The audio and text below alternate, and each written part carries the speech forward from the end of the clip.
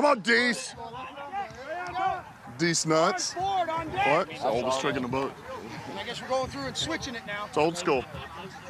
yeah, you did. Yes, you did.